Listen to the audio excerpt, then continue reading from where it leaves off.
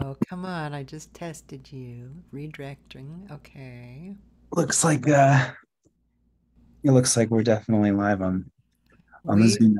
We are live. Come on, I just good. tested you. Now just do my thing.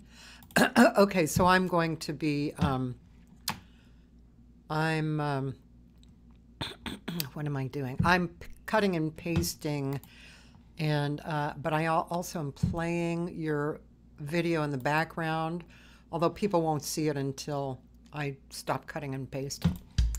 So here we go.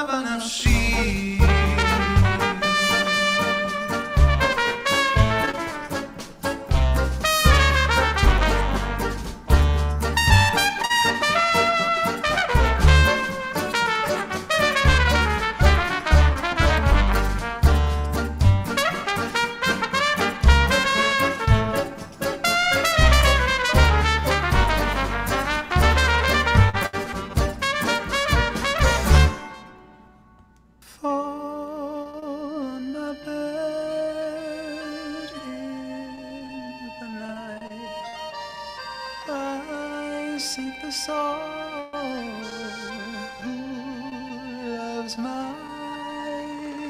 When I find you, leave your body behind. Then I'll guide you. I'll free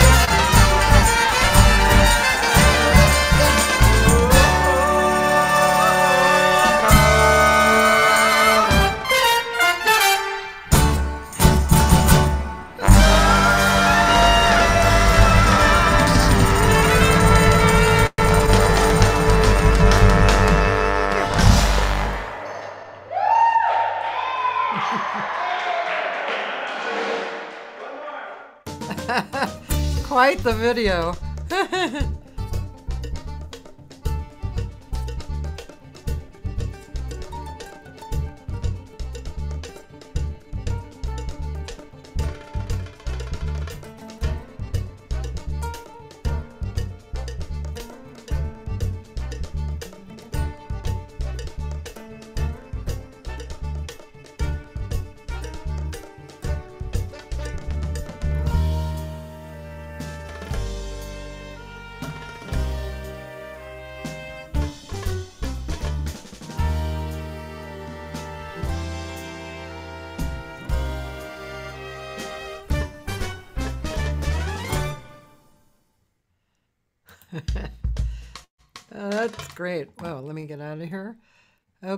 Ladies and gentlemen, my guest today, Leeav Sofer. Hi. Hi. For been- It's been a little while since we saw each other. It has. It really has. But uh, I've been really enjoying watching all the work you've been doing to kind of use your platform to promote so many different artists in LA and above and, and beyond. So I've been I've been watching your work and I just really appreciate you for considering me. Oh, thank you so much. Well, you do so much good in the world. You know, it's just, uh, it's an honor to have you on and to talk to you, you know, to share you with people who are going to come across this. Thank Um, you. Uh, let's let's just start by talking about that video. Great video. Thank you. Yeah. Is that a more recent video or just one in the Yeah, it just released actually uh, two weeks ago. Oh, hmm And um, you were making me curious to see what what the what's going on. It's on YouTube. It's doing okay, but on a but it went a little bit. Uh, it it got beyond our normal fan base on Instagram. We have upwards of fourteen thousand views on Instagram, which has been great. wow. Yeah, and then Facebook got upwards of three thousand. So we're we had a little bit of energy behind that one, which normally as a Jewish cultural glamour rock band, we don't we don't uh, we fit such a small niche that it takes more time for us to see something really grow in a viral way. But this has been a really successful uh, and fun video for us to. Um, I think we reached a, a new community that we haven't before, so that was cool. Probably several new communities. I, I was while I was watching, I was thinking, who who would be watching and liking it? You know, I think several, several, several different people. I mean, is the do you feel like uh, this in the video, the music I can see al- alone, but uh, but with the video too, is that um, appealing to the Jewish culture Yeah, well, community? I definitely um, have to say it's uh, you know, I think that it's appealing to the Jewish culture that we want to be affiliated with. and uh, so, I mean, for a little bit of context, you know, mostly kosher has been a Jewish cultural group, um, glamour rock, rock opera. We've had different people have called us different things for almost 13 years now in Los Angeles. And um, we started as very much focusing on just covering traditional Jewish folk music. Yeah. Um, but as we've grown, we started creating original uh, Jewish folk music that, to our opinion, was still always married to the past and to the roots. Like we would quote an old folk song or an old klezmer melody, um, or and then we would write a whole new song around it, for example. So that song itself actually quotes a line in the chorus from one of the Song of Psalms that David wrote, like the romantic um, poems that he wrote back in the biblical days. And um, but the interesting thing is, there's this one line that's asking, uh, "I seek the soul of whom loves mine, like my soulmate. Nafshi is like my soul." Um, and it's interesting line because it doesn't have any gender. It's Yeah. just, and so we as a um, a band that also is proud of our own queer community that we live in and whatnot. When it came to Pride Month, we were originally going to just do a photo shoot because we wanted fresh new pictures. And um, and we had an idea of doing a themed uh, photo shoot that will have some pride energy behind it to to to celebrate our queer commu- band members and our solidarity with the larger community. And then we thought, why don't we just film our experience at the photo shoot? We call it a BTS video, behind the scenes video. And as we so in less than two hours, everything you saw was was filmed like the main point was to get this photo shoot but yet the second goal was to just get a lot of footage that later we cropped together to be this music video um, that we didn't really intend the music video to maybe be this big viral thing but once we put it out uh, we went from where, where where we slowly grow in our followers uh, throughout the years. Maybe we'll can can grab a brand new 50 to 100 fans a month depending on how active we are um, or how many shows we do. In two weeks we have gained over a thousand new followers um, just from this video going out. And i'm researching and and kind of creeping on my, our new fans and checking out their profiles and i'm seeing so many of them are either jewish or queer or queer jewish community and I have literally seen people repost and comment and share and saying, I finally found a, a home in queer Jewish music. And there's people who have been celebrating uh, the fact that we were celebrating, along with our incredible colleague and friend, Miss Lavinia Ka, which is our drag queen uh, talent. Um, and that persona is played by Raymond Zachary, and they are uh, oops, right, yeah, Zoom, right? That'll go away in a second. Um, they uh basically have been an incredible colleague and like a ghost band member and have made appearances with us before. But we said let's bring you in so we can also, for um, those that feel that they uh, are a little bit wary about what's going on and protecting the drag community and the trans community, we felt it was our obligation to show our allyship and and celebrate those in our community that identify that way. So um, yeah, that was this was a really fun music video to put out, and I'm really excited to say it's actually the first of a series of three or four music videos that are lined up for the next uh, four months, actually. So. Oh, nice yeah, we've been working hard. So hopefully we'll be keep building momentum for content, which is always a fun challenge for any artist to be coming up with content in this content hungry world. Yeah. Uh, you know. Would you say that the um, lyrical content, uh, like of your uh, songs, is in the same ballpark as far as meaning and communication, the message? Well, we just put out a recent album of which this song is on called This World Is Yours. And that came out last year, but we've been pushing it and plan to, and all of the music videos coming out will be celebrating the songs from that album. That album was a work, if COVID didn't happen, it would have been maybe a three year project and ended up being a six or seven year project because of COVID. Um, but that was a real pivot from when we were just like our first albums covering old Yiddish Jewish folk. For those of your viewers that don't know what Yiddish is, Yiddish is the Eastern European Jewish language, which had a lot of its own cultural staples and iconic music. Um, klezmer, if you heard you heard me say that earlier, that's the instrumental music. It sounds very Balkan, Eastern European, Russian. Uh, also, could be tied with Mediterranean, Turkish vibes as well.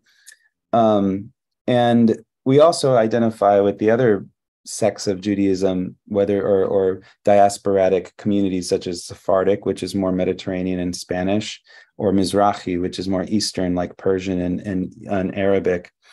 Um, so we have a mix of all of this in our. Uh, some people have thought of us as a, the pink martini of Jewish cultural music. You know that group. Yeah. Um, we we love them too. So it's a, I, we take that as a compliment but it also means that we're a little bit all over the place. But the theme that we wanted to tie this new album together was mutual understanding. So there's a lot of mental health and social justice themes from song to song. Sometimes we found a piece from our culture that we can really deliver that message. Sometimes we found a quote from just a melody, an instrumental melody that we used as an inspiration for a, a chorus or a hook that, for example, we have a song called Go Away, which is actually about schizophrenia. Um, but we used an old melody written by a, a clarinetist uh, in this Naftuli Hora that he's a clarinetist that was alive in the early 1900s, and he himself suffered from schizophrenia. But this was one of his favorite uh, melody, uh, most reputable melodies. So we took it, made a whole new song that is an homage to his work, but really is fully full original lyrics. Um, and that's an example of our exploration we've been doing and we're continuing to do. Was uh, was the group always uh, queer based or not? No, and I I wouldn't even say that we're queer based now. It's more that we just were celebrating uh, the inclusivity of, of that we have of that. For example, I I'm identify in the queer community. Uh, multiple bandmates that do as well. Um, the rest of them are allies. If you consider, you know, if they're not queer, they're still allied to the community. And it wasn't something that we've ever put out into the world to say, you know, we are a queer Jewish band, yeah. but it was something to say we don't it doesn't we don't we don't have to identify as queer Jewish. We just know that like queer yeah. is okay. Queer is yeah. is just reality. And it's like, and sometimes this is the first time we've ever um felt, you know, like there's so much pushback going on in the world that we had to be like, we have to say something. So so you know we it's not like anything's changed for us internally but publicly it was a beautiful thing we feel like it was a beautiful way to celebrate ourselves and our other and our allies and community to just say you know everybody everybody can celebrate love and even this passage in the old testament is celebrating an expression of love no matter no matter who your soulmate might be you know and that's what was really beautiful to kind of tie that in yeah Wow. Cool. That's it's kind of uh, dramatic, the whole the whole picture of it. I mean, you may not feel it's dramatic because you've been doing it for 13 years, or you know, but to me, hearing about the depth of it, I mean, I've seen the band. I think didn't the band play at the Saturday Night Jazz series? Yeah, you had us um, right behind Olak. Yeah, which yeah. much fun. And I think we might have had a, one or two of the songs written that we might have performed at the ones from this newer album. And I think we performed a couple because those songs, the 11 songs have been, you know, projects over the several years that we brought together. But yeah, yeah.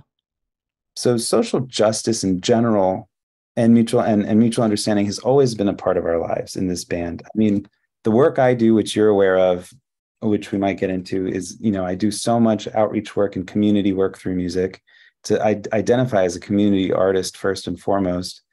And then even my main band partner, who Janice Mautner Markham, who has um, been founded the band with me and and and works with me to be my my wingmate in so many of the projects and all of it.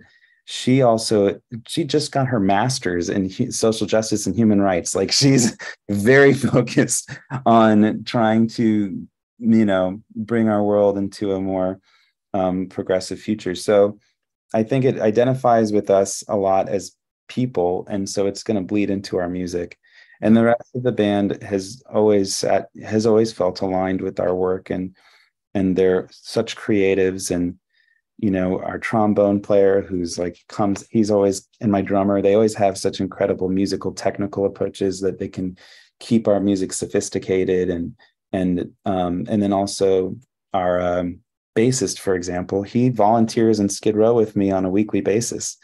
And he's been doing it for years as well as other musicians as well so there's like there's a musical sophistication and integrity we keep trying to bring to the band yeah. as well as service we're constantly mindful of and doing. Yeah.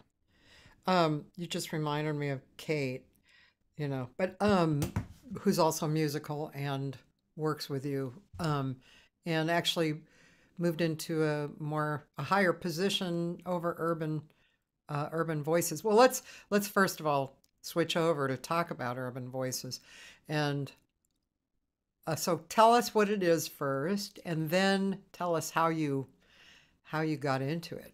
Sure. Um, so Urban Voices Project uh, was is a nonprofit that does um, music programming uh, in Skid Row and across LA County. So our whole thing is about using music as a way to disrupt and amplify am, disrupt the system, but amplify the voices of people experiencing homelessness. We see it as a holistic approach um, to. I'm sorry. Um, I'm, my attention is stuck on dis- disrupt the system. What do you mean by that? Yeah, absolutely. We basically have always felt that there's been more dinosaur archaic ways to approach homelessness and that getting people off the streets um, in ways that haven't always left an individual with their dignity or treating them and or humanizing them, but instead um, still really treating a lot of our community as numbers in a system. Um, so we are trying to use the arts as well as there's other partners we work with, but there's so many that see the value of arts humanizing and personalizing homelessness, um, both with the system in general, like the way that arts can be a mental health or therapeutic program that when people are offered services for many times they have relapse experience when they're um, at the threat of poverty at, and they, they can come back off to the streets even after they've gotten to a program but when you have a program that's a therapeutic type of arts place. You're not seeing someone as your patient or your client, but you're seeing someone as your fellow artist. And when you're having a group to come together, I mean, there's first of all, there's nothing wrong with um, programs such as Alcoholic Anonymous, and that's a great program. But you're also you're coming together with your um, your brokenness at the forefront of why you're together and why you're bonding. It's trauma bonding of sorts. But when you can bring a bunch of people together with different experiences, and the reason you're together is for a positive experience, such as celebrating the artistry in each one of us, we're here because we're just wanting to sing together. We happen to also be people that have experienced trauma, experienced poverty. And we also happen to be a program that is there partnering with social services so we can support those that might need. But the first reason we're there is to celebrate the artistry in each one of us, to say, I'm si- sitting shoulder to shoulder with another artist in LA, even if they're a beginner artist or if they're a pr- prior professional, current professional. You, when you, the minute you see someone as an artist, you see them for different, different level of value than when you see someone as that's a, a homeless person underneath a freeway underpass. Um, so when you either have people sitting in a room together, you even have the caretakers and people that receive the care humanizing each other, seeing putting themselves on equal footing. Or if you're going and seeing a performance of our performance choir and you're having a huge audience of people that um, might be from any part of LA or or or farther away that are seeing a per- group of performers that have experience lived experience of homelessness, but they're there presenting you know mm. art and expression. Again it just helps to continue humanizing this condition of homelessness and and continue eliminating the us and them and bridging us together. I always say music's the greatest equalizer. You put someone from wealth and beverly hills next to someone impoverished and skid row in the same room and you ask them to sing together you're going to get one united sound so it's it's truly doesn't see race gender you know expressions of love or socioeconomic class. It, it actually brings everyone together. Yeah. Um, I'm going to interrupt because on that TED talk that uh, your assistant sent me, um, there's a moment where the group comes out and sings, right? At least one, uh, the first moment that I found. So mm. um, I think it would be great to watch that. Can we? Yeah. Okay. So I'm going there. Let's see. Um, um, hold on one second. Mm-hmm. Um, oh, and also I should do that. Okay. Um, um, let's see. Sorry. no worry. It's really, it's really odd that I've, I've forgotten how I do this because I don't do it that much anymore. The live. But uh, oh yeah, I'm looking for. Let's see. Where are you? Hmm. Maybe I moved it. I apparently moved it somewhere else. Um, let's see. Uh, let me find it. I'm gonna find. Yep, here it is. Let's see. Video to share. hmm Okay. And doing that. doing that. And okay, and um. I know that it's program it's a for you. ways up. Was it relief, Here we go. frustration, and not. Got the strength. I've start- got, start I've at the got the beginning. pain. We do it in the music. Here we go. Matter of fact, it inspired us to write this song, a song with lyrics based from the, part, the participants of the workshop itself. It goes like this. I'll sing it for you. I've got the patience to inhale, exhale. I've got the energy to sing. I've got the strength to keep on going so I can rise again. Rise, let's sing it again. I've got the patience to inhale, exhale. I've got the energy to sing. I've got the strength to keep on going so I can rise again.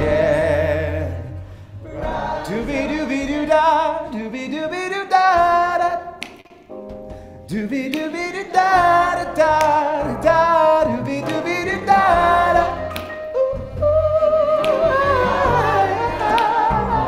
Doobie doobie doo da, doobie doobie doo da.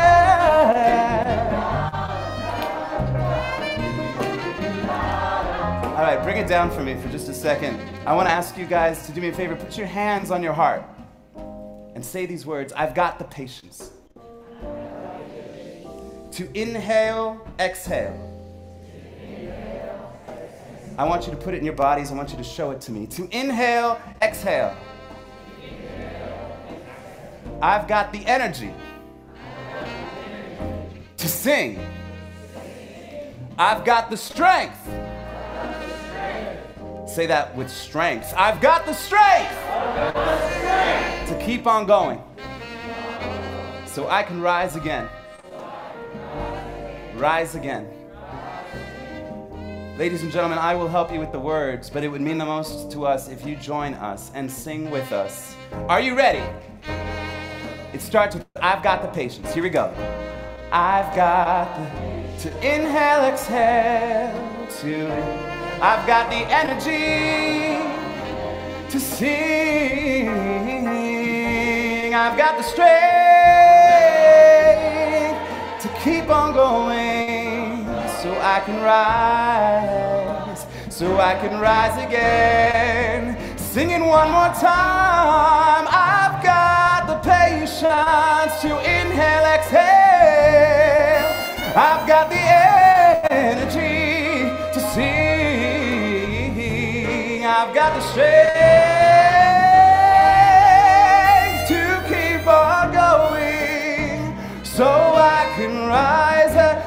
have the voices? And if you're feeling it, rise up out of your seats. I've got the patience. If you're feeling brave, won't you rise with us? Won't you stand right where you are and sing these words with us? Come on, to sing with us. I've got the strength to keep on going so I can rise again, so I can rise again. Let's do one more, band. Come on, one more. I've got the patience. I've got to inhale, exhale. I've got the energy to sing. I've got the strength to keep on going. Let's bring it home so I can. Last time, bring it home. Rise again.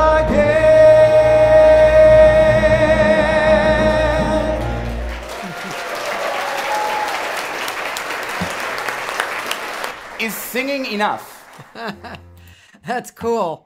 That's great. Uh, and uh, yeah, this is a good, uh, great uh, video to watch for Thank you. Yeah. Uh, so, uh, how did how did this start actually? Well, um, I was faculty at the Colburn School, which Oh, is conservatory in downtown Los Angeles. oh, And uh, I was working in the community initiatives department. My uh, supervisor, Dr. Nate Zeisler, um, a visionary himself, was a big support. It was one of my first jobs out of out of finishing my music degrees, and uh, he was such a supportive mentor as well. And in the process of the first couple of years of being there, he uh, teamed up with one of our board members um, who was always asking the question, "Why are we this?" flagship elite musical mecca here on Bunker Hill, along with Disney Concert Hall and all of the other music halls. Why are we only six blocks away from Skid Row, which is considered an elephant graveyard of humanity here in LA? And why are we not doing anything about it? Um, and he, this board member, was also active with the clinic that was serving the community called the John Wesley Healthcare Clinic, JWCH, um, and or clinics of health, center of health. And um, he said, if I set up a meeting, um, could you guys do something? And typically, Colburn's community initiative programs were focused on pipeline work for kids that might not have access to the arts. So they're focused on, you know, music education for children, and then coming up through until they train the kid to go and audition for Juilliard. That was a lot of the focus of the community work we were doing. So to go and work with adults, um, to go and work in a more of a music therapeutic environment rather than a music education approach wasn't a normal thing. But my supervisor went to all of the faculty, anyone interested in this? And I said, I raised my hand. I was just like, I've been looking for something that was more. I, I still felt, even though the music education work was great, I still felt like I was in an environment where we're doing a lot of um, art for art's sake or just seeking of excellence in art as it happens with the classical community. I'm watching all of the conservatory students focused on the audition circuit, focused on, you know, trying to get a seat in orchestras across the country and and the the stress it's putting on the artist and the question of why we're even doing the art sometimes. So um I uh I was always an artist that said art art for the sake of what, you know. Yeah. Um this was something that excited me because I've always been someone who was interested in community. I did not have experience with homelessness. I did not have an experience with social work, but I was so ready to just learn. They paired me up with an outreach worker at the clinic named Christopher Mack. And he was a man who has been working as an outreach worker in Skid Row for, for over a decade. He knew everybody in the community. His nickname was the Urban Sage because he could go into any neighborhood, even if these neighborhoods are feuding with each other, you know, or it seems like they're uh, could be dangerous to others. He was someone who could go in and they'd receive him with a big open hug. Um, and he was also old enough to be my grandfather. And so, because I was only 23. And so basically, um, he would laugh because he's like, listen, you know, you could be my grandkid, but I'll partner with you. If you could bring the music, I'll bring the people. And we had our rehearsal 2014. I just turned 24. And uh, we were in September, the beginning of September 2014. We had our very first rehearsal. We planned an eight week program in the conference rooms at the clinic because the clinic was located in Skid Row. Um, and Colburn supported my end, and Christopher was supported by Wesley. And it was that we called ourselves the Wesley Colburn Singers, even because we didn't have a name. And he recruited about six to eight people that were willing to try this experiment. And in eight weeks, Wesley had their help, their gala, because they're a nonprofit healthcare provider. It was at this top of a 51st floor in downtown, tuxedos, gowns, full gala style. And our choir, our small choir, I remember we had to go to the YMCA to get proper showers and we had to go to thrift shops to get suits for everybody. And Chris and I were doing it all by ourselves. Um, and uh, when we finished, unfortunately, the program finished um, for Colburn and Wesley. They they did it as a pilot, but it wasn't aligned with their mission to be continue keep sustaining it. So they were going to end it. And Chris and I looked at each other and we're like, if you show up next week, I'm going to show up next week. And then, hmm. so we did. and that went on for four more years as we were a grassroots volunteer effort. And by 2018 or 17, we were like, I was teaching two classes on Monday, one class on Wednesday, another class on Friday. I was teaching like four or five classes a week for free. I would finish my job at Colburn and then go to Skid Row and teach a whole, basically a whole nother conservatory program that was completely of a free program where either I was teaching most of it, the choir members in the community kept asking for new classes, a piano class, a music theory class, a sound bath workshop, things like that. And I just kept trying to provide and we would get volunteers. Then we got Kate, Kate, who came on to volunteer, who she was a music therapist, found us at a performance, all the while still performing with the choir. And we were a, not even a nonprofit. We couldn't, ex- people wanted to write a check to support us, and I had nowhere to take their money. So once Kate saw what was happening um, and started joining us in 2016, she um, she was volunteering. She's helping me teach classes, and then she's like, you know, we got to make this sustainable. And I never felt Chris and I felt like so overwhelmed that we needed that third person, you know. Yeah. And she came in to bring start inviting the concept of structure and sustainability. She brought her music therapy but knowledge to validate the work we're doing. She she really helped us see the value of what we were doing. Before I was just grateful that a, a, a building in Skid Row would host us for free where she was saying, you know that you're providing a service that these nonprofits should be paying you for. You're you know paying uh, the, to, to have free music classes this is something that is therapeutic value to the patients of these clinics and things like that. So she was helping us flip the narrative to to understand the value of what was happening. And that's when um, she in along with dr nate zeisler some other partners and mentors along the way um, in, encouraged us to apply for the nonprofit. And the nonprofit literally was Christopher Mack, Kate Richards Geller, and Leeav Sofer were the three founding board members. Our signatures were on the, the nonprofit application in 2018. That kind of began uh, the more um, the, the, the next stage of our future. We started being able to hire employees, fundraise. Now we have a almost a dozen employees. We have programs across the county that beyond just Skid Row and hopefully growing even more um, and the work is starting to feel sustainable. It's starting to be valued by our partners. Healthcare is a big uh, sponsor for these programs. We're starting to see the value in it as um, social determinants of health as part of people's healthcare plans to have arts programs. And this is the big picture goals that we're working towards in LA County. It's amazing. Um, do people reach out to you from other areas of the country or do you get any reach like that? Yeah, there was actually many conversations about do we want to expand beyond LA and put in urban voices and you know big cities around across the country. But every city's um, homelessness crisis is so different, and um, yeah. it's hard to cutter uh, this kind of program. We have built a curriculum, and we did create a manual for how we facilitate our programs that is very original to us and we're very proud of. But even then, we still find ourselves recreating it, even if we do a program in Pasadena or Tustin, Orange County, or Venice, you know, we'll, we're already adjusting so much because it's so different, just even across the county, let alone a whole nother state. But what we did find even though when we started we felt very alone we we did not know there was anybody doing similar work we found later like 4 years later we found that there was a group starting in Atlanta Georgia only a year before we started and they were connected to a church and so they did theirs at a church for many years.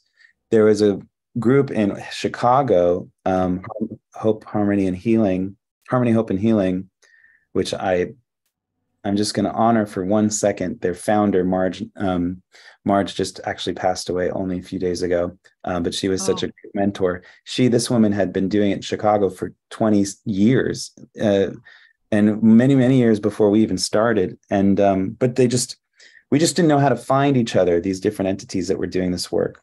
Then Dallas started doing one, and right when when L.A., Dallas, Atlanta, and Chicago, we've kind of found each other, and then we realized this is the homelessness crisis is growing, so this kind of work needs to respond and grow. So we um, started helping other people by inviting them to come and observe our spaces, take the tools they need to maybe build it their own. Like we've hosted art residencies of people from the Santa Fe Corral, for example, in New Mexico or Oregon or San Diego. They came to learn from us and then they started something similar at their homes. And that fills our hearts. Like we're really happy to just be able to let people learn from us. And those groups from across the country, we came together to make a network organization. Um, so we held a couple once a year conferences or every other year for the last seven years. Oh. We're hoping to put one again together soon, but we don't have it announced at the moment. But this was an opportunity for people to come and learn how to do the work or for us to exchange ideas and learn from each other. And that's something that we plan to continue. Do you, uh, I'm sure you do. I, I'm wondering uh, how you um, how you see the the benefits in the homeless community.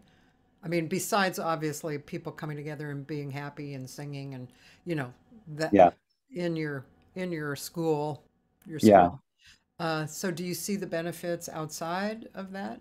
Absolutely. There's there's kind of these questions that people always ask. They say, you know, why singing, or or is it something that is you know fruitful beyond the hour? For first of all, when you are in the worst stage of of survival mode you've gone through the emotional spiral either for months weeks months or years of what it took to get you to the place where you're now on the street um, you being on the street it's clinically proven that even if you arrive there without any um, diagnosis of any mental health issues you still get ptsd uh, pretty much comes in within five five days mm-hmm. so if if you or I, who felt like we had a clean bill of health, started having to sleep on the streets in in the city of LA in Skid Row. Five days later, we could be clinically diagnosed with mental health, uh, severe to moderate to severe mental health issues.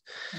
So sometimes people think, oh, it's mental health that got them there, and all these things, but you know, just being homeless has so many problems. You get preyed upon by the drug dealers. You get criminalized. You have all so many issues that are happening your integrity and your dignity is just threatened at every moment and you don't feel human so when you're in complete total survival mode many of the executive functions of your brain has turned off you, you, you're you're just trying to find your next meal or where you're going to feel safe to sleep that night then you walk into a room for an hour where you can let all of that go i mean i can't stress enough how important that one hour of therapy is. And if you can understand what we need on a day-to-day basis is people who and i'm speaking to those that have the privilege to not feel that um, they're at the moment you know endangered of, of being houseless which but there's a lot more of us out there than we realize of course that are paycheck to paycheck. But but for any of us that might feel we have the privilege to not have to have that worry we still need church to find spiritual meaning or sense of purpose and motivation. We still might need therapy. Many of us are in our therapy ourselves. We still are doing some kind of self care just to keep us functioning on a general basis in LA. Um, so we can't speak light of how important that sanctuary is for one hour for them to have the strength and motivation to wake up the next day and to keep pushing. On top of all of that, we already know how hard it is for us. I mean, I'm horrible at navigating my own healthcare, navigating a lot my own when I have to show up for jury duty or the courts or the, you know any of the things that we normally have to do on a daily basis it's 10 it's uh, exponentially harder when you don't have an address you don't have the motivation you're dealing with depression and where to get your meal to think about where to apply to get your new id because all your stuff was stolen isn't the last thing on your mind. But you need that id to be able to apply for voucher aid housing and that's going to take six months. I don't have to go down the whole spiral. But to, to understand and fathom the discipline it's going to take for any one of us to pull ourselves off the street, we need a little bit of that healing. Now, all of that being said, I consider three levels of homelessness. There's the street level, that's like kind of what I just described. Then there's the the second level, which is people that have finally got the motivation or the opportunity to get into a temporary housing situation, a shelter, or something that might be three week or three months. Um, they moved into something that's not their forever home. They don't yet feel fully comfortable. Maybe there's still a curfew. There's still a lot of supervision. but at least they're not sleeping outside anymore. They're getting basic needs met of some food, shower, and, and sleep. And so it's very surprising what those three things can do to change your life. Um, though those those are strong basic needs that uh, can can motivate an individual, it's still daunting to navigate how to get to the next level of permanent housing. So we found that our program serves that population extremely well. Um, the population that, that are on the streets, we might see them once a month or once every other month, but they're so transition um, transitory that we don't always expect that this one hour of sanctuary therapy is going to pull them off the street right away.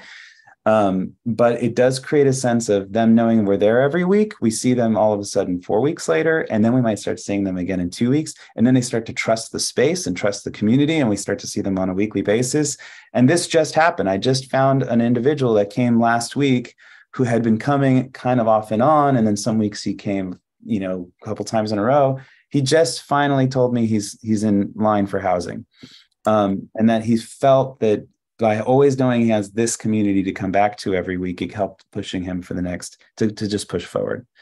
Um, we've also offered to connect people to housing partners as well. We don't do it ourselves, but we partner with the clinics and we partner with other social services.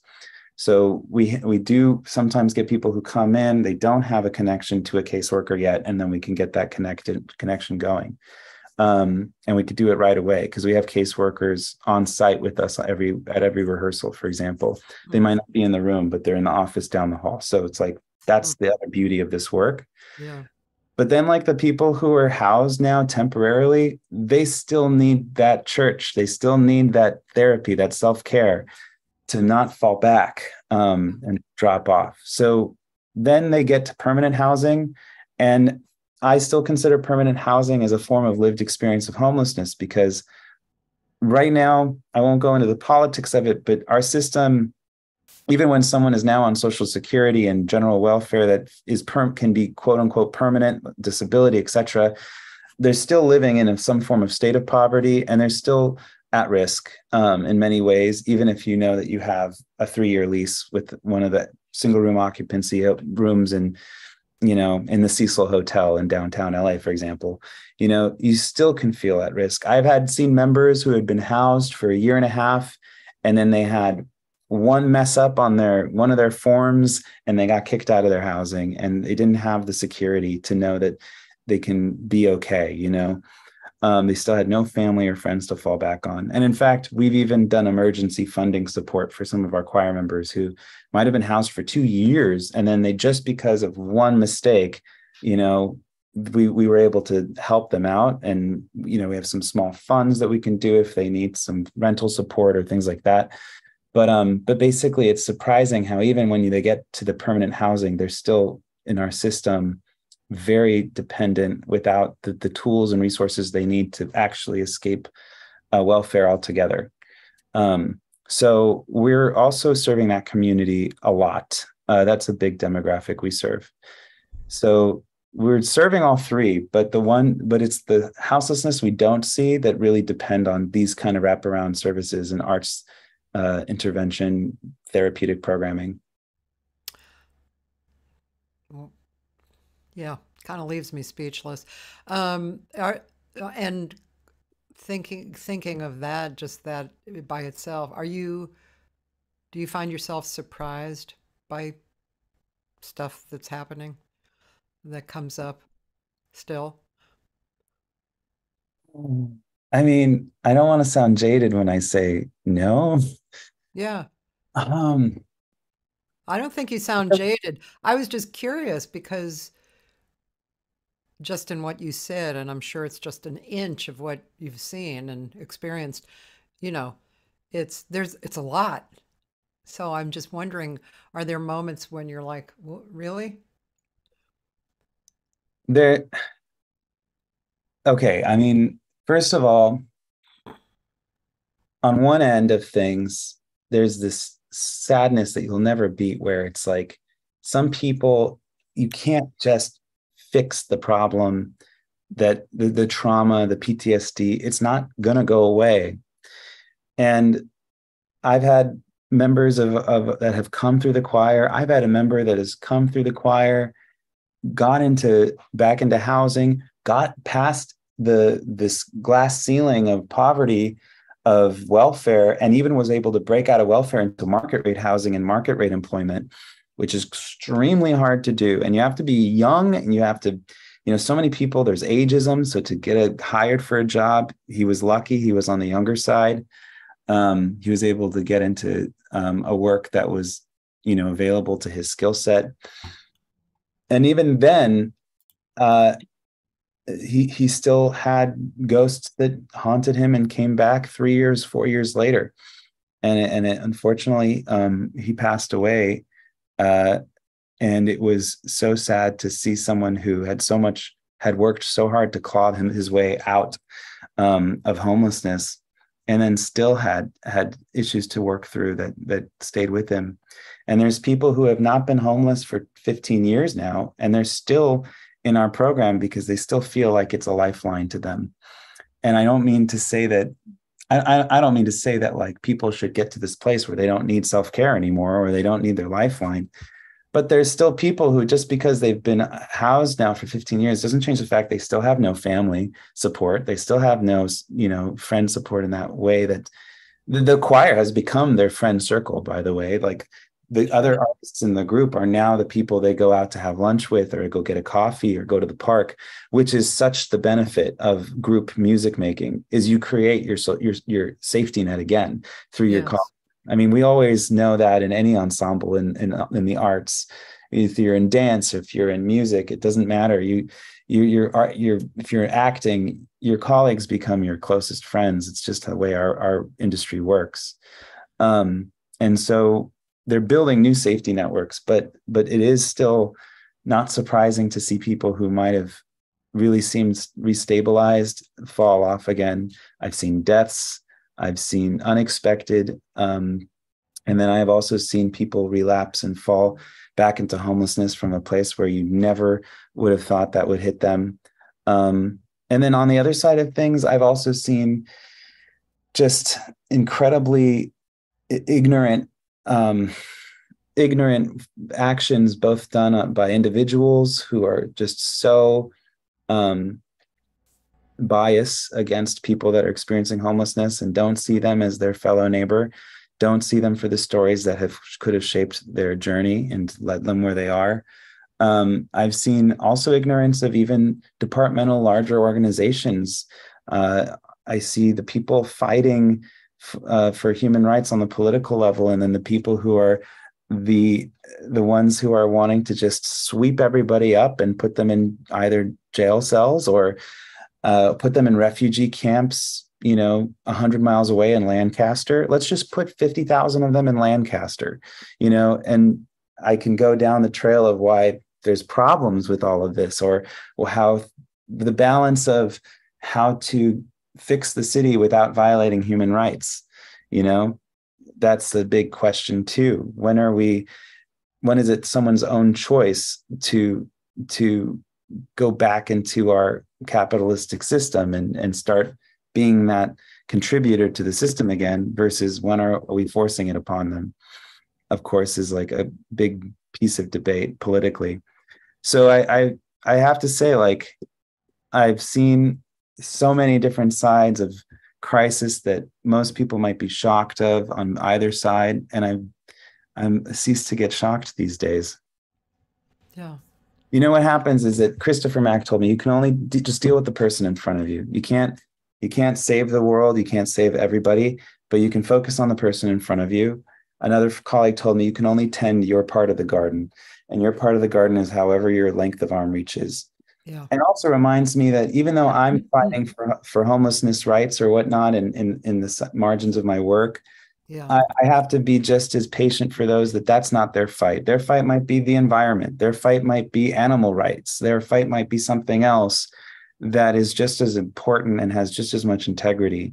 Um, so I also myself have to check that I'm not soapboxing everybody um, when I when I feel like I'm um, not surprised by people's behaviors, you know, in or outside of our community. Right. That's a. I think that's a huge part uh, yeah, just um, knowing that each person is doing what is real for them and what they're drawn to and what they're good at too. You know, because it does take a village, and um, uh, to quote that that kind of throwaway line, but it does. It takes all these different people to make the woof and warp of the material, you know, and uh, so yeah, but it must be uh, just hearing you say that and knowing my own, you know, spiritual uh, learning and struggles, it must be challenging for you not to be, I don't know, I guess you could call it judgmental or, you know, just to grant people the right to do what they're doing and to work on what they're working on and to know that it all comes together. Well, it's this balance of as I said, art's for what's sake, right? And as an artist, I always, we all have something to say. Yeah. And some people feel that art in itself is politics, art in itself is revolution, right? Yeah. And, and by making a sound, you are in some form expressing expressing change and expressing something that's transitory in some way, right? So respecting each other, mutual understanding of constantly listening, um, and in, in not calling people out, but calling people in is definitely one of the paths I've chosen. I also have this strong respect for people who are radically on the left who are there to shake the rapture, rap, raptures and ready to light something on fire to get the attention. And I think maybe there's some fights where that that level of anger is is I wouldn't say the word maybe is fair, but maybe expected and underst- and can be understood, um, mm-hmm. um, empathized.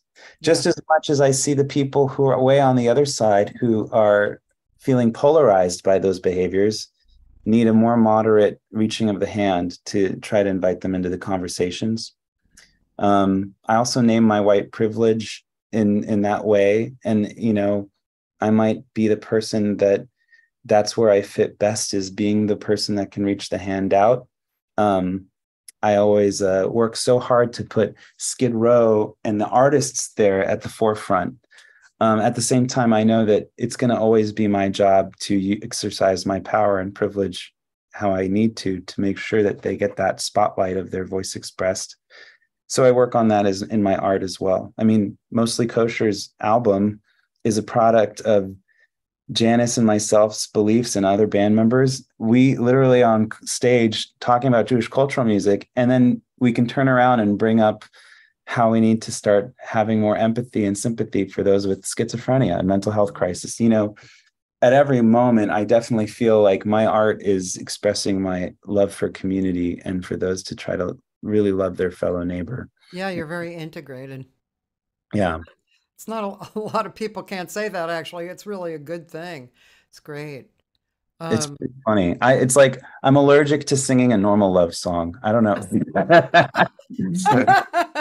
like, like I, I, have I written love songs before? Yeah. Do I perform them a lot? Not often. Like the one, the one main love song on urban on um the mostly kosher album. Nafshi is one of them, but even that we just established has a message. The other love song is Moth, and it's and it's about a moth in love with a butterfly and it comes from a beautiful yiddish poem that we set to music and then added our own lyrics. But even in the moth attracted the butterfly i then wrote more lyrics out that actually if you read into it is interpreted as um, some people could see it as the israeli palestine connection because it's very romeo juliet language. Mm, yeah. So the capulets and the montagues and how do we so thus mutual understanding. How do we deal with the love that can never be? Which is very universal but even in the lyrics there i was speaking to there's like one line that says how do we uh, how do we how can we hate each other when we eat the same rice and saffron? And that was about all of the countries in the middle east that eat the same food have the exact same culture and yet can't make peace with each other and I will just be frank and I will just say out loud, I myself dated a Muslim uh, for a while and felt our own families having tension with my Israeli Jewish family and their other, you know, Iranian Muslim families. So there was there was just stories that came out through both smaller personal uh, moments as well as macro, you know, hu- humanitarian questions that we wanted to always speak to in our art, in my art. Yeah. Um, I want to play a, another thing, and uh, let's see. I see that you did a uh, Tiny Desk concert, and was this a concert the for Tiny Tiny Desk, or was it a No, I I will. an audition? I was an. It was a, the one of the submission tapes. Yes. Right, right. I'm I'm interested in that. Do you mind? No, absolutely. And this, I mentioned the song "Go Away" the- about Yeah. mental health, and this is Oh, okay, cool, excellent. So, let me bring that up. Oh, sorry, I gotta share the screen. There we go. Go away, go away, cause I feel you just don't get it in my demons don't quite know you yet, but maybe if you held my hand, I'll go away, go away. Won't you leave me and my voice is with me? You don't hear what they're saying to me, how they comfort me. We'll go far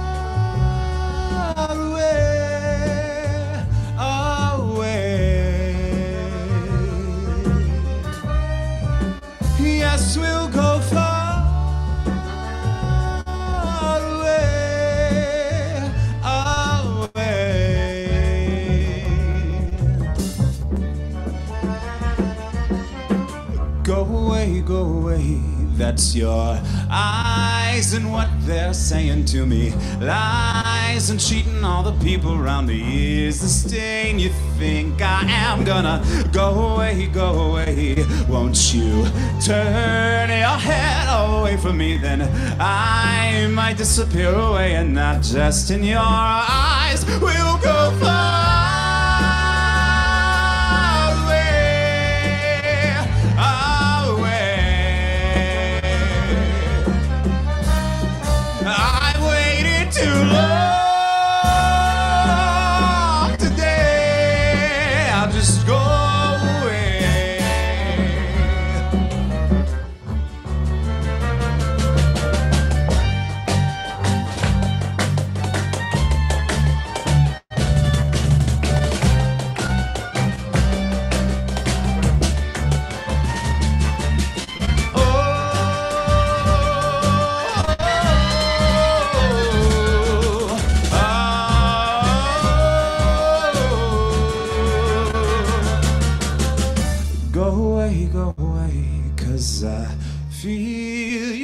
don't get it, and my demons don't quite know you yet. But maybe if you held my no, go away, go away. That's your eyes and what they're saying to me. Lies and cheating all the people around me is a stain you think I am. So just go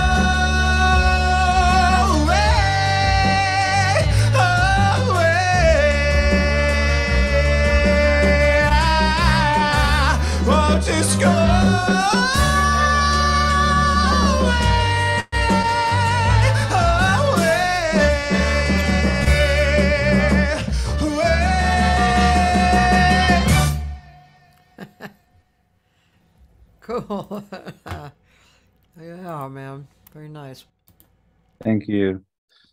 Um, I have a, I have a, uh, an idea popped into my head.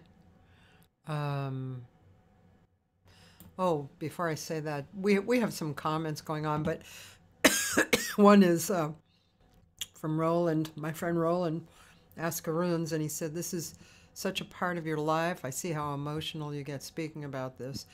And on a lighter note, he's he loves the Benny Goodman portrait in the background. And he clapped a lot. Um, I'm wondering, um, you know, lately I've been I've been booking um, this place Kulak's Woodshed in North Hollywood.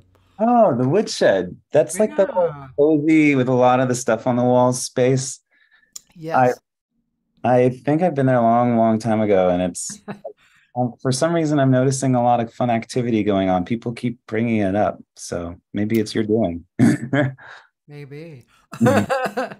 For about seven months, I've been stirring up mostly jazz, and it's such an it's it's not your typical venue, you know, Mhm. for a number of reasons. One reason is it's a recording, it's a video recording studio, really. Um, so uh, so people have to pay for it, very small amount, but still they're getting this six camera live edited video. Um, and um, but anyway, I was wondering um, if maybe we could bring the urban voices over, um, or whatever, you know, however the conglomeration that you would want, and actually do a fundraiser for you. Um, Hmm. and I mean, we'd pay Kulaks their their money to do this. They they would stream it, and um, and then they would also video, and then you could take the video. They they also do a Pro Tools session. oh, cool. Um, but um, and the the room holds maybe 50 people, but uh, it's a really fun room to be in and to create music in. But it would bring you into maybe a different area of the city that you've that you haven't gone and and bring some attention over and I think it would be really cool. Of course, my ideas don't always work, but I think it would be cool. Does that sound like something you would do? Well, I'll, you know, first of all, could absolutely could happen. Um, I will say that booking uh, performances with the choir um, is actually a form of income for the nonprofit, where people um, they invite us. It could be all sorts. There's been you know con- healthcare conferences or conferences that have to do with community work or the grand opening of a new you know, when Hilda Solis did the groundbreaking on her new housing complex or things like that, where we've been asked to come and sing and perform um, to spread our message, of course, to move the audience. We've also done performances that are sometimes just in the arts world as well, but they're trying to, and, and churches and synagogues and things like that, or Martin Luther King Shabbat, you know. um, and uh, when we get when we perform they uh, typically make a donation towards the organization to help keep the doors open for our weekly programs in skid row that are open and free to the public so uh, we do do some like self more self-produced projects from time to time but when we do a self-produced project i typically t- hand it over to the choir and i say do you guys want to put together a committee? You know here's the budget we can put together. You guys go run with it and you guys get to decide what we're going to do. So there's a little bit of a town we have these things called town halls that help have, have helped us shape our programs. We do them three to four times a year and the choir members have put together committees to sometimes um, move forward on some of those kind of things when it's a self-produced project.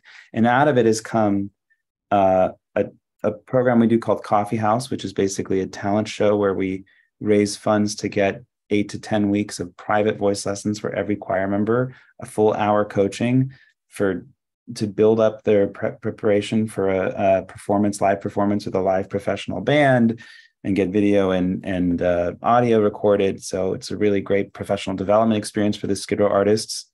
We have the holiday called Home project came out of this these committees and that was a arts festival around the holidays before christmas and and around the rest of the holidays too and that's been produced and staffed by the choir and Mhm. again same thing like we hand them a budget and they they work with they make decisions on on how to do it as a community and the next one which is i'm i'm going to make a strong plug for because it's in two weeks um, is come on sing festival which is august 27th which for those that are watching, we need a lot of volunteers. Musical volunteers are great because many of the volunteers would be encouraged to sing along or engage, or if they play an instrument as well. But but we are building um, this this whole idea came from the choir. Uh, we every month do a pop up open mic slash community jam on the sidewalk in Skid Row. It's one of the ways that we do our outreach to reach people that might be on the street level more and it's such a success. It's so much fun. We set up a couple pop up tents and a mobile sound system for three hours. People sign up to share their own stuff or to sing stuff that we can offer to play along to. We always have at least me and a drummer, if not a couple more musicians to accompany them, which is great. So it's like feels like live band karaoke sometimes too. Or we just jam out with group songs and just have everyone sing along and hand out lyric sheets too. We have these cool lyric books, which I'm trying to see if I have one uh, in close nearby, but I don't see one right now.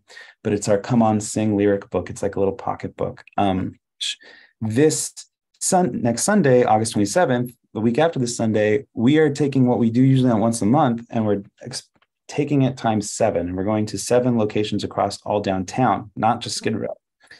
And the intention of the Come On Sing Festival is to do these pop ups, these music activations in every neighborhood in Skid Row and around to not just bridge neighbors together, shoulder to shoulder singing, but neighborhood to neighborhood, help to eliminate the us and them, to help bridge the communities together. And Skid Row artists are going to be facilitating, you know, and emceeing these tents and, and, and inviting anybody. So when we're in Little Tokyo, there's going to be the tourists that will be invited to sing along with us.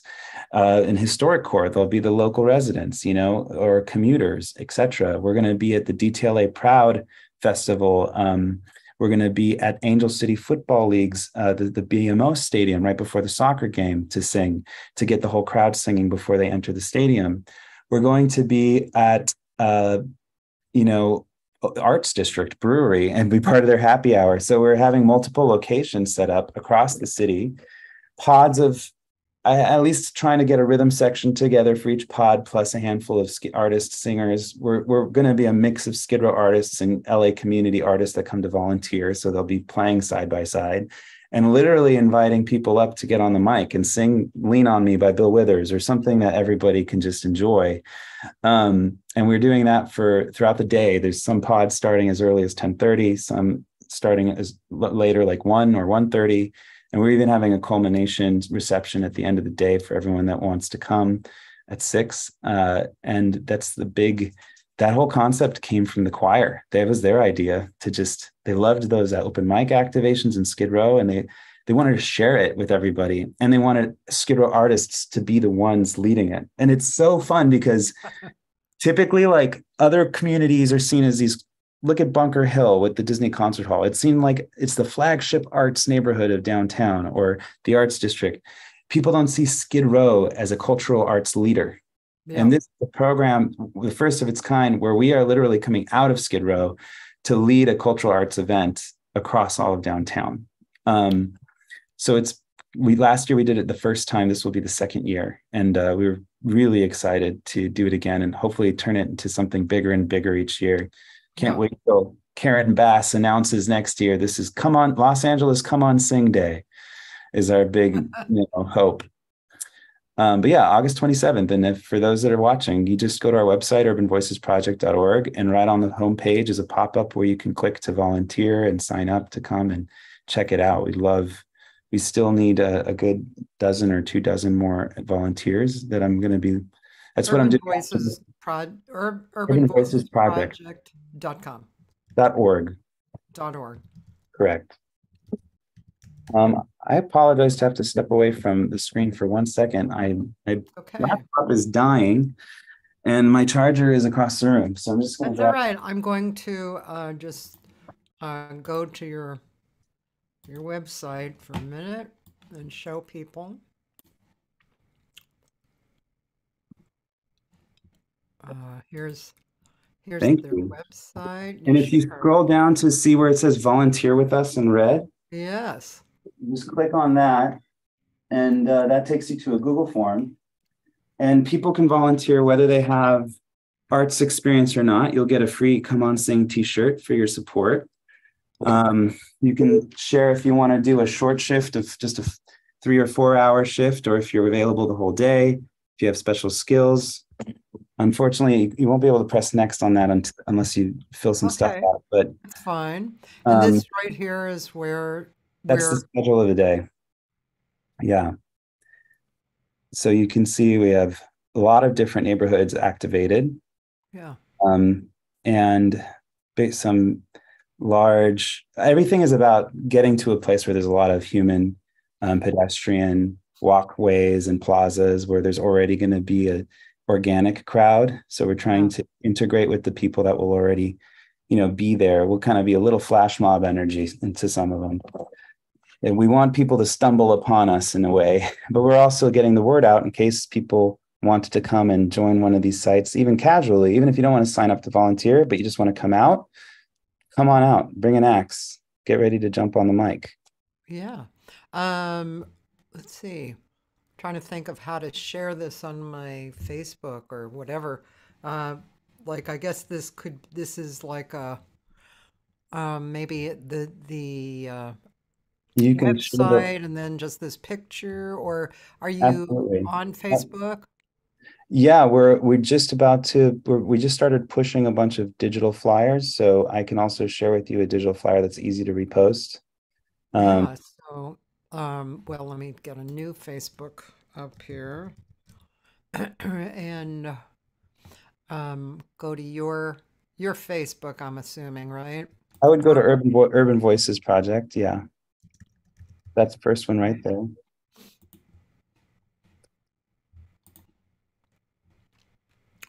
Okay. Um, yeah, and if you scroll down, you can reshare um, a cover photo. There's so many things we just launched uh, just this last week with pictures. Um, that one might be a really good one to reshare. That one. Yeah, uh, because it has um it has information. hmm I shared. Thank you. You're welcome. I appreciate it. Um, yeah. Uh, for those of you watching, you can you could share this too. This would be great. Um, if you could share. Yeah. And um, Thank you for doing that. oops. yeah. I wanted to actually go to your site. Um, do, do, here we go. And uh, oh, that's yeah. So then the events and you wow. You could do that too, but it would have, you could go down to the 27th, but easiest is also just to click that picture you had on the homepage. Right. I was just looking at other stuff that you have. These are Oh, so These these are are our weekly programs in Skid Row that are uh, free and open to the whole neighborhood. And um, so we have some programs that are, you know, not actually all of them are in uh, Skid Row. We have a Lynwood program for a mommy and me music class for uh, families that are at risk or experiencing homelessness as well, in partnership with LA Care. That's the one you see on Thursday. The Wednesday, no matter who you are, whether you live in downtown or not, whether you have experience of homelessness or not, that Wednesday class that's at two is such a great place to come together. Um, people always say, I'd like to get involved. And I typically invite you to one of those weekly jams, anyways, the neighborhood sing program, because sometimes it's nice to meet each other first as artists rather than Yeah. come in as a volunteer that's planning to do charitable service because Mhm. even in that sense you're kind of still like a coming in as an us and them pretext rather than why don't you come sit in the circle with us do a jam with us meet your fellow artists here and then we'll talk about ways that we can get you involved in volunteering on a more regular basis if you want to be involved once a month or once in a while right. so we we're very much like come to the neighborhood sing uh, program if you can to visit us if you're LA based. Make a trip on a Wednesday afternoon to visit to, to say hi. And I see you have virtual workshops as well. Yeah, the neighborhood sing is hybrid, so it's offered on Zoom as well. And Great. One of our family sings is on Zoom, and music labs are like our those are like the music theory class or whatnot. Excuse me. Um, and that one is on Zoom, but as of September, half of them will be moving to in person again, like they were before COVID. Um, yeah. Cool. Well, you know, believe it or not, I have been wanting to come over, and uh, there's Kate, um, and I've been wanting to see the events. I I should probably just come over, like you just said, you know, schedule like a Wednesday and come over. And I think Kate more recently asked me if I wanted, maybe wanted to come to one of those. Um, and um, your events always fall on days that I also cannot come. But I think I will, now that we've had this talk, I will schedule a Wednesday and just come over. on a That's Wednesday. the thing is we're more accessible than you know. 52 weeks a year, you have an excuse to come and see us. Even if you can't make one of our bigger events, such as this Come On Sing Festival, Yeah. I say we do have a date picked for our holiday event. That's going to be December 16th on a Saturday. Oh, we okay. also need volunteers for that. Um, December 16th. Okay, we're writing that. I'm going to just write that down. Yeah, December it's, it's going to be during the day. Holiday party Yeah, Holiday Called Home is the name of the festival. Holiday Holiday Called Home. called home. Mhm. I need volunteers. Okay. I'm, I'm writing that date down in my book. That I could. Also, the fun thing about volunteering is that typically our own Skid Row artists are also rotating in volunteer service as well. Uh-huh. Just because you might be someone from outside of Skid Row, you're still both serving people that are in need as well as serving shoulder to shoulder with other people with lived experience themselves. So again, it's like everyone coming together to just help everyone. It's very a mutual aid kind of environment, if that makes sense. Yeah. um, event. Oh, what time is the event? That one will, I don't know if our date is, the timing is exactly set, but typically that goes uh, 11 to 4. It's like a kind of like a daytime Okay. uh, thing, and we try to end before the sun goes down. So for those that are walking home, can feel safe getting home. And Yeah. uh, it's usually that one is kind of a festival of different stations of arts programming. There's a sound baths that happen. There's a drum circle that happens, and they're scheduled after each other in different spaces. And we partner with inner, inner city arts, which they have a nice campus of multiple spaces. So, um, so we're serving the Skid Row community, but also volunteers. What we typically love is to invite you to volunteer for two hours, and then also in partake in the in the stations just yourself and have fun for two hours. Yeah. Again, constantly encouraging shoulder to shoulder experiences. Right. And family is a really it's great to bring your kids to that one too. That we always have crafts for kids at that one. Yeah. So with all this,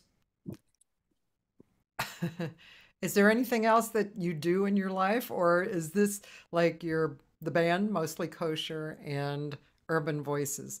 Is that that's Leeav's life? Is that correct? Uh, there's a couple more things. there is. yeah. Um, I would say those two are my projects which I'm very fond of and and um, that I definitely spend the most time uh, investing in um, because they were they were they're both projects I founded. But I'm very very proud to constantly hold um, keep working with Colburn as part-time faculty. I've diminished the job down to smaller projects but i get to work with such incredible people there. It keeps my skills sharp when it comes to just um, elementary like k through 12 level uh, music education.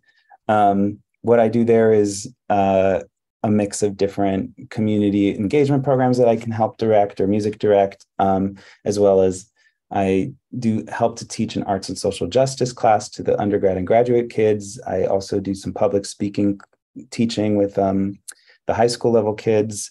And uh, also i have we partnerships with them where we're have interns from colburn coming to work with skid row. So there's a strong connection with urban voices in colburn now which is great. My mentor nate zeisler is still there and he and i are close. And um, and then also that led me down another path which i'm not doing super frequently but i i am a regular keynote presenter and teaching artist for the los angeles county office of education about social and emotional learning through singing and community music making that in the classroom. So 6 to 12 times a year I'm typically lecturing about to teachers how they can integrate arts and see the benefits of arts in the classroom even if they themselves don't feel as an artist. So a big part of my uh, lecture and if that were ever to be a TED talk it would be that you can sing even if you think you can't sing and and if you can talk you can sing kind of mantras but of which we know very well you and i. But um to be able to to find some activities and find some examples that really help convince someone i always say things like you know if you imagine yourself as a four year old did you ever think you couldn't sing or did you ever think you had a bad voice when you were four years old? And so what happened that what what was Right, what was the learned culture that that stopped you from singing and Yeah. and typically it's the people who were told they have a bad voice or a bad ear that felt less encouraged to keep practicing the muscle and so by the time they got to even older elementary years or middle school years they already had this huge gap of muscle memory on how to use their vocal cords Yeah. and match pitch. And so at that point, this concept of tone deaf, which I don't believe in, it's really just an atrophy of a muscle that you've never used because something where along the line culturally you were taught that you should that you're bad at it. Yeah. So I have to do a lot of breaking habits for teacher elementary school teachers who don't feel confident in their own artistry and how to introduce arts and and I do the same in other places too. I'm very active in the Jewish music community world, and so I'm a lot in the synagogue circuit for um, you know services as well. But even then, it's still I still try to integrate this into that world as well. I I teach for teach other song leaders in the Jewish community world some of these techniques as well, and um, other church song leaders. So so I have to say, like, as a performing musician, I gig a little bit freelance. I do this um, music education, social and emotional learning a lot, both in music education, like environments, as well as like religious music environments, I guess, as well. So Right. that probably makes up like the fourth Colburn, and then that makes up the third and fourth bucket of my life. Yeah. Bucket. That's good. I like that.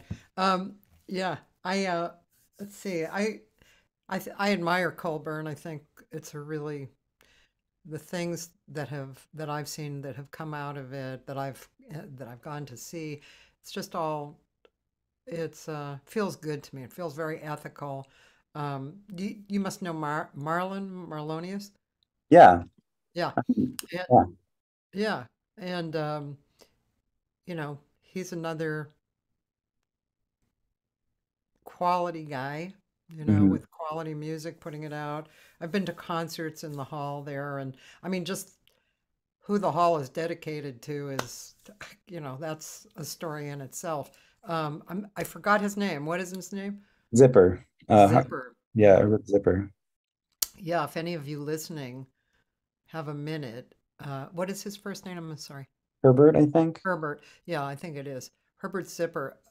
It's a quite a story um, of a man who was in the camps and survived and then got into other camps and survived that and led people with music um, through.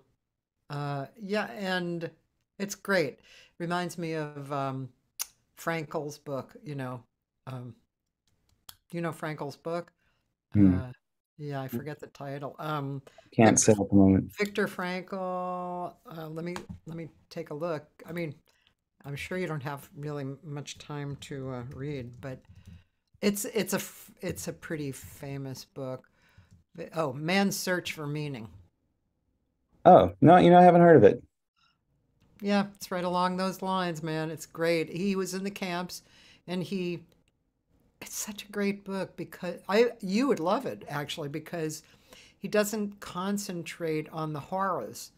Hmm. He concentrates on man's um, ability to rise up and push through. And I will absolutely check that out. yeah, it's really it's I it's a really great book. It's you know, yeah, I really appreciated that book. Um, so um, let's see. I, I'm curious. Did you did you grow up in Israel or here? Grew up here. My um, father is Israeli. My mom lived there for almost 20 years. Met him there. Uh, my oldest brother was born there, and then um, they came here just right before my second brother was born, and then I was born only a, a- two two years later. So by just a few years, I could have been Israeli born, but um, I do. My first language was Hebrew.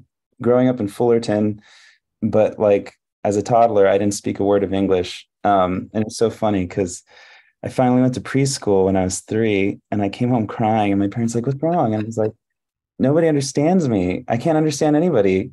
And my parents were like, "Oh my God, we forgot to speak English to the kid." And so, um, they switched and they started speaking English to me. And and then, unfortunately, I feel like now in retrospect, we we all agree that they should have never switched. They should have just let me kind of suffer because I lost a lot of my Hebrew. And I I unfortunately like now I feel like back to back to a learner rather than truly being fluent. But the good thing is I still have a close connection to my dad and all of his family. I have a close connection to both my parents. They're both they're both together in, in Orange County and they're big supporters of me. But um and and I and they go back to Israel a lot together and I will go with them once a year when I can to see my huge Israeli family. I mean, we I was just there in June and we had a, a we always do a family reunion when I go there and when they go and it was 90 people and it was all family members, cousins and whatnot yeah. So it's a huge family. I'm very connected with them. My Hebrew gets a lot better when I'm there, of course, and start speaking it a lot more fluently. And um, and it's I, I'm definitely and I have Israeli citizenship, so I definitely really identify as Israeli. I eat Israeli food growing up. I feel Israeli. My parents still speak Hebrew in the house, but um, but yeah, I uh, American born Israeli is who is what I am. Yeah. And uh, were you singing from an early age? Or I'm sure you were. I can imagine you and I would have been great friends if we were children together because I was just a major handball. Um, I think I've calmed down actually. But anyway, uh, so were you a handball when you were growing up? Yeah. Our, our my term for it in, is these days, and my friends use the term goober. okay. Whatever you want to call someone is just a big theatrical goofball. Um, but um, so I was definitely love to sing. I I was more of an instrumentalist. I oh. like kind of the, the, the journey is interesting. First of all, my mom is a cantor. So she, oh. she was in theater and she did puppetry, she did musical theater. Oh. When she came back to America, she got her cantorial degree and in the 90s, she started as one of the first generations of female cantors at, the time.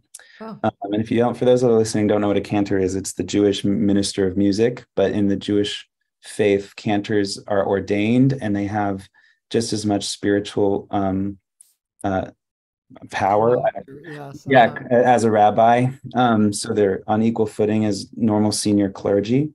So the cantor was a big step for her to move into that direction, but she loved to sing and she plays some piano and and viol and uh, uh, guitar. And so I grew up in the synagogue, going with her to work and hearing her sing, and that's why I, you know, grew up with these Jewish melodies, and it really informed my uh, organic synergy with like Jewish klezmer music and whatnot.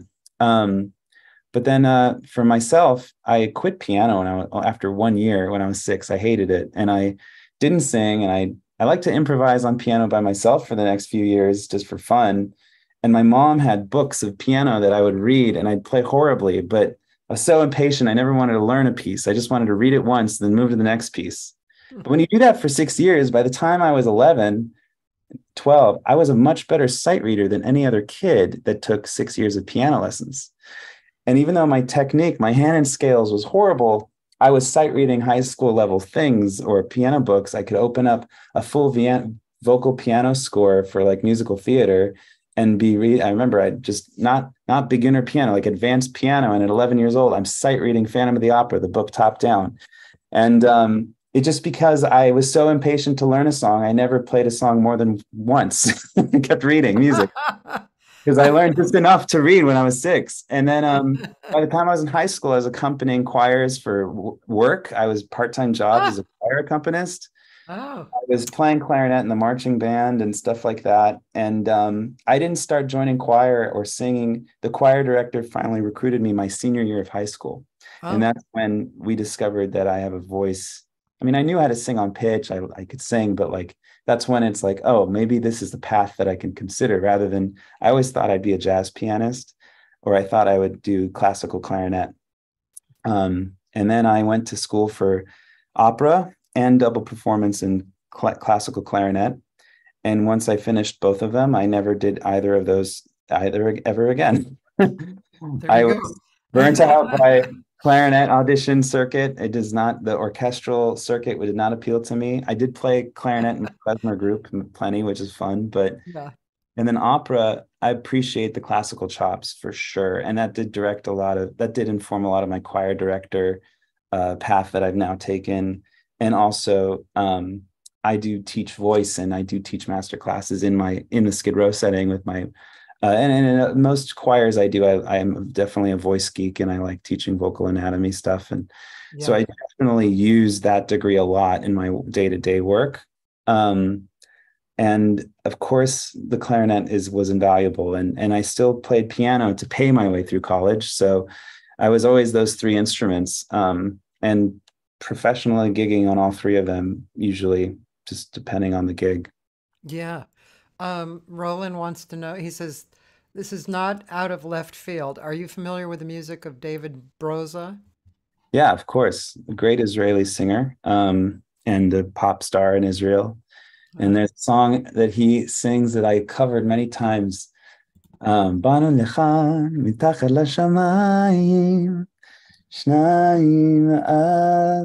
I forget all the words, but it's a, it's basically a song that's like a love. song. It's just a simple love song, but it's like become a love song anthem in Israel. Oh, it's a love song that you sing.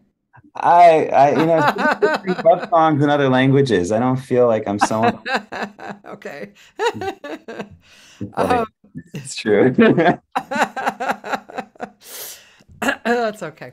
So, um, when you uh, decided to go to Colburn, what were you looking for uh, initially?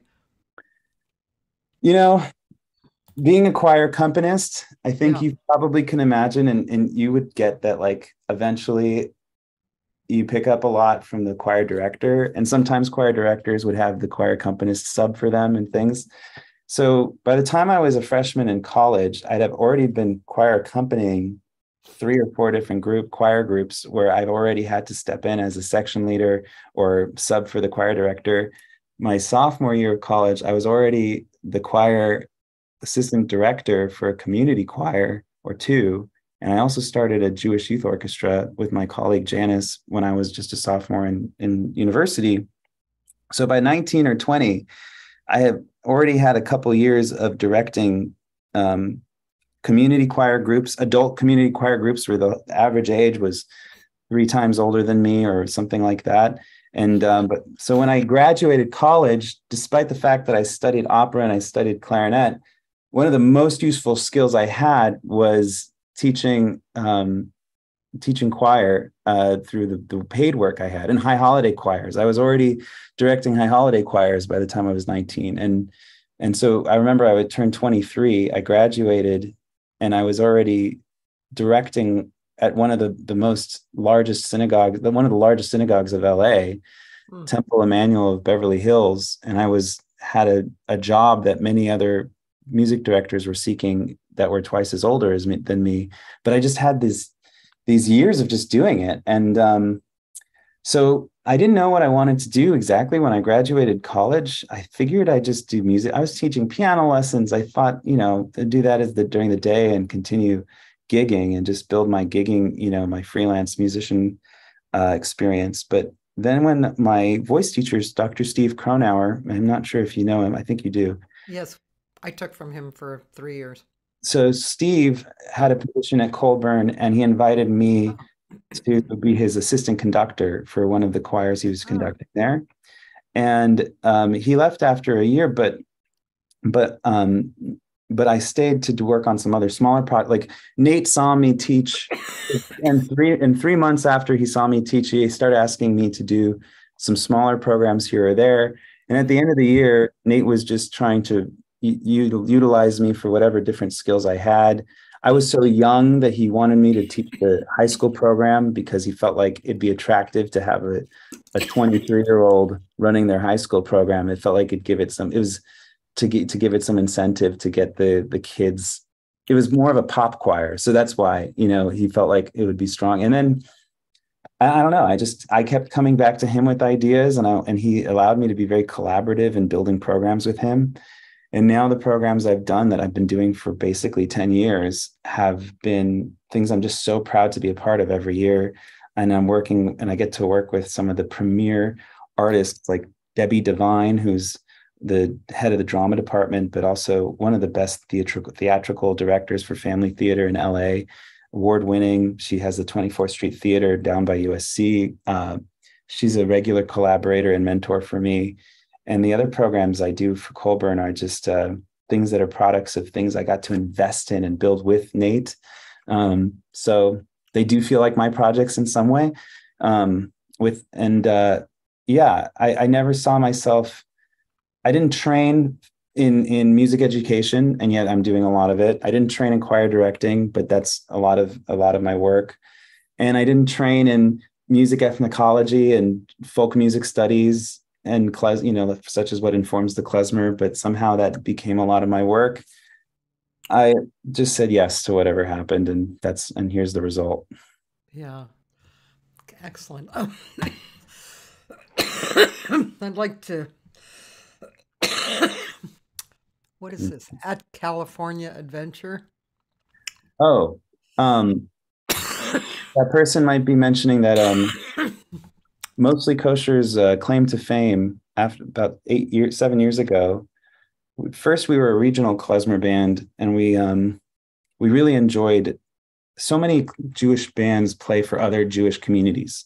Klezmer bands typically are hired for weddings and bar mitzvahs. They don't typically playing for the non-Jewish community. I was always had a mission to use the Jewish cultural music as a platform to reach larger audiences. One of the other things beyond social justice and mutual understanding, I just had a side goal of like getting Jewish cultural music seen as world music rather than religious, because it is the drinking songs, the, the lullabies, etc and I wanted it to be like I remember looking at the Spotify playlist of world music, and you have mariachi and taiko drumming and all of these cultures just like all, and you have to go down like 207 is the first klezmer song, maybe, or even Jewish, even Middle Eastern, like Middle Eastern Jewish song. And I just was like, you know, people get confused. Um, so I spent a lot of energy making our, our concerts really reach across the, the bridge to non-Jews to feel invited to do a l'chaim with us, dance a hora, and enjoy it. Disney Scout was scouting for their very first Hanukkah show they wanted to build, and they decided to scout outside resources rather than build it internally. And they scouted across. Oh, I remember this. Yeah. And they found us, and they really liked that part of who we are. We're, we're high energy, but we're constantly like you can enjoy this with us. And it was just naturally how we do what we do. And we, they brought us and they asked if we would produce um, their first Hanukkah musical performance show that's going to be a regular produced show. And it, they've brought in bands before for like a one-off on a Saturday and, you know, maybe the first night of Hanukkah, but they never like produced an ongoing. And I asked, what is that? And they were saying, we want six shows a day, seven days a week for two months, like a full production. Yeah. And they warned me. They said you know if and susana tubert the director of entertainment at disneyland parks was at my uh, she was the one that was talking to me about this and she's been a mentor over there. And she's like the minute you say yes to this leeav mostly kosher is no longer leeav mostly kosher is now a brand beyond your face because you can't sing six shows seven days a week. You have to get other singers looped into the production rotating bands. That is still the mostly kosher show.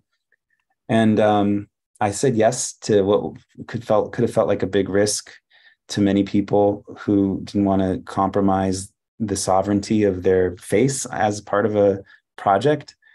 But I don't know. I just felt like this is too. This is the first opportunity any Jewish cultural band has ever had to be putting to, to be making the first impression of the Jewish culture on tens or hundreds of yeah. thousands of tour, tourists from all over the world, not just yeah. the country. And it was so successful that after the first year, we franchised the show to Disney World as well. And we were on both coasts at the same time. Wow.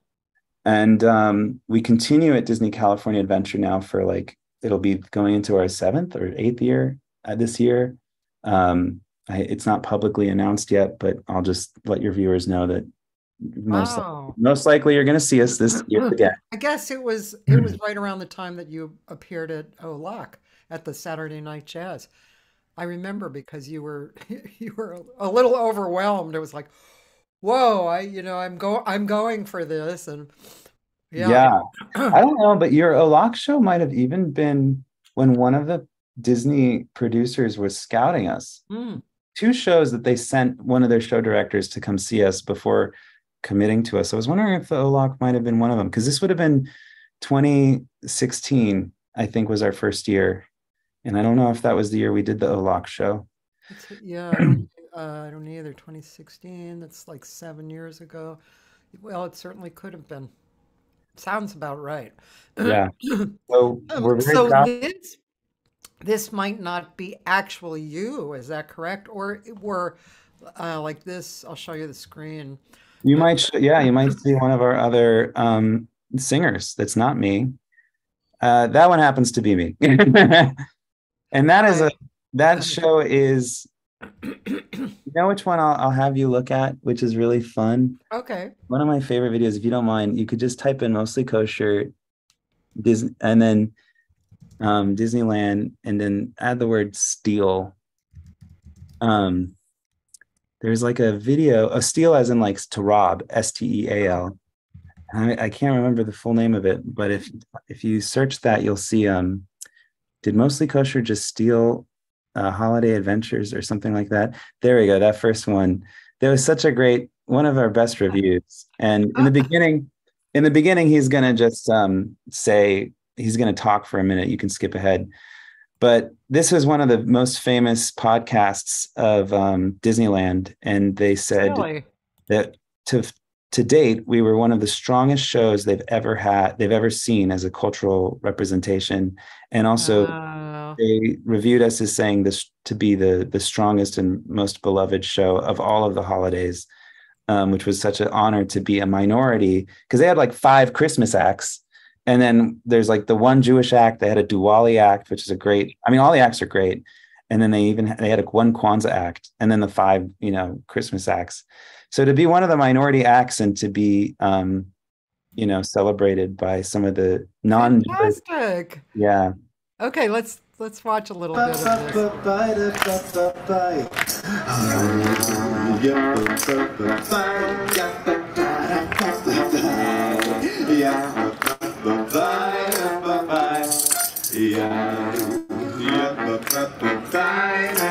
this.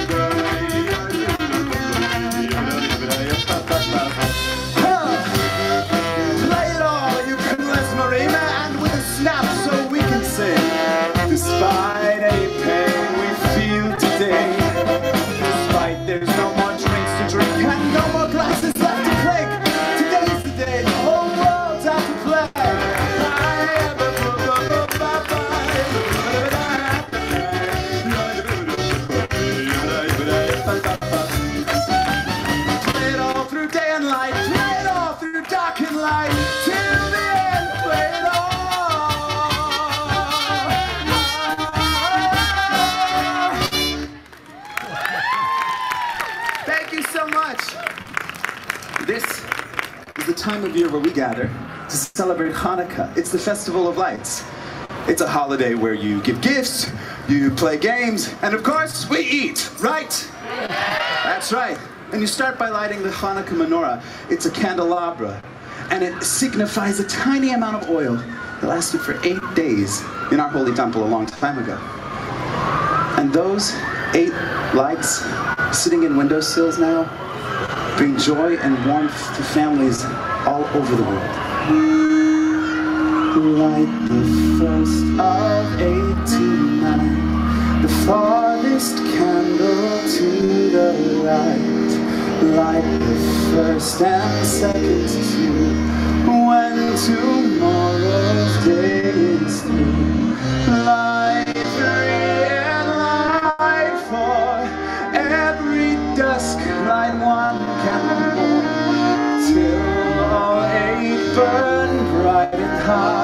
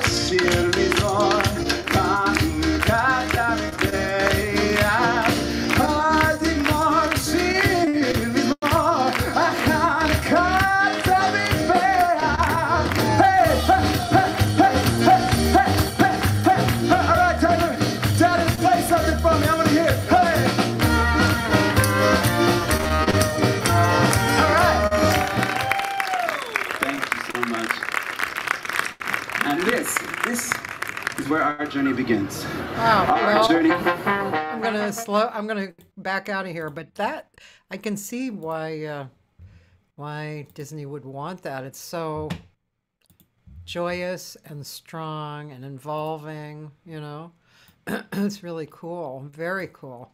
one of our value points of that show is always how can we show our culture as personified joy you know joy personified and and i mean we go into the elements of of some of the sadness at some points uh, very briefly in the disney show. Um in our concert shows we'll go a little bit deeper into those things as you've heard me discuss but um but even in the full concerts that we do uh, in a performing arts center even if we have the deeps the the the, the lows of the social or, or the strengths of and the passion of social justice or mental health i think it's always important to end with that kind of energy that you just wit- witnessed we always start and usually end. We always bookend with incredible joy because first of all jews are really good at being sad because we're really good at turning making the happy finding the happy in it. And uh we'll also find a minor a minor modality that's doing that's playing such an upbeat groove right? Yeah. um but also um but i also think that it's just a, an, an, in the end of the day a message of hope you know that we all need. So keep people Boy. I mean, you're you do it so much. Your you, all your DNA must be like enjoy. No wonder you have so much so much uh, energy to do so much. You know, uh, so many positive things. In all seriousness, I mean, joy, joy, joy, joy, joy. I mean, it's great. It's fantastic. Um, yeah, it's amazing. And I can imagine that the audiences really get affected. They get, you know, they're changed by by observing that and being part of it, you know. i would hope so Yeah, um the goal for sure yeah. Um, we just have like two minutes left. Uh, Do you, is there anything that you want to say that you feel like maybe you didn't mention? um i'm just honored to to to share a little bit of what i do i hope that your listeners get intrigued with um the projects but of course to be direct you know mostly kosher. Please come and see a show. We're going to be in fullerton at the muckenthaler on september 7th and we'll have other shows throughout the the season if you follow us. Um and for urban voices come and sing come and jam volunteer they're all three are really one and the same. And um and you know i want i know your your colleagues are typically a lot of the jazz musician community of la and we We want you guys to know that you should feel really welcome in this in, in these program to make it feel like an extension of your community as la musicians that the skid row artists are an extension of your la community and want you to come and join us when you can. Knowing how hard it is to ask artists to to stretch themselves further in this city of course uh, and totally acknowledging that. And then um and then you know i'll just say my last thing is uh, so much of this came from saying yes to the things in the world and also came from the incredible mentors i've had like steve kronauer like nate you know debbie kate has been my mentor chris defer mack my co-founder has been my mentor janice and my band has been my mentor. Um and uh and they've really and so many more people and my parents. And so i i really i'm saying the very typical uh privileged thing to say i have to count my blessings but um but i do i do have to remember to count them every day. And uh i hope that um those people out there that have supported me know that i'm so grateful. And if if they watch this i hope they hear that. Well, I applaud you and uh, definitely respect you for all your sight and your action. I mean, thank you yeah, I was just discussing that with my husband today, you know, because um, he has a tendency to read the news and, you know, kind of go down that route of telling me, reporting on the negative things that are happening. And I always say to him, you know, you could do something small. You could Mhm. you know, it doesn't have to be huge. It could be just something, you know, a piece, you know, that makes you feel like you're responding to that, you Yeah. know. So Absolutely. it was a good conversation. good and if he needs to figure out what direction that small step is you can always put him in touch with me Okay, maybe I'll I'll drag him along on the Wednesday or what- whatever the you um, yeah, that would be fun. Mm. Um, I I also my friend Dan said that Will Brahm was your guitar player at one point, and I I don't know if I knew that, but Will Brahm, of course, is a great jazz guitarist and very cool. he's one of the greats now in my opinion um but Yeah. all of the all the band members of mostly kosher have always typically been in my opinion some of the the highest caliber jazz musicians of la Uh, uh i uh i have high standards of musicianship even when we're doing folk music i i want it to be delivered with such integrity you know yeah, So, yeah. and i mean Cecily Gardner is is here too, and she's she's saying you're such an inspiration and bravo. thank you All right. Well, listen, have a wonderful day. Um, I'm gonna, I'm, I, uh, I have a few weeks of a little busyness, but I'm gonna come after that busyness. I'm definitely gonna be there December 16th. I'll be, Great. I'll be part of that definitely because that's I can actually write it down. You know. Plan that. Yeah. I really appreciate this, Cathy, and uh, I hope I see you soon, even even before then. Um, but it sounds like also I should be coming on one of your shows over at the Woodshack, so the Woodshed. So and actually, let's talk about if Urban Voices wants to come and we can do a fundraiser. thank you. Let's definitely talk about it. Yeah, I think it would be great. Thank you. I really appreciate that. Okay, thanks, Leeav. All righty. Take care. Bye.